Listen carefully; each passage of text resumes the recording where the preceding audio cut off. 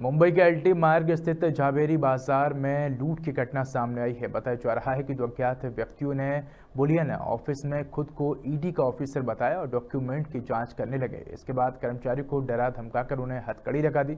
इसके बाद तीन किलो सोना और 25 लाख कैश बैग में भरकर फरार हो गए।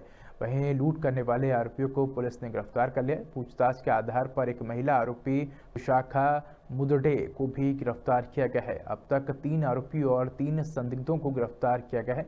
वहीं लूटे गए पंद्रह लाख कैश और ढाई किलो सोना रिकवर कर लिया गया है।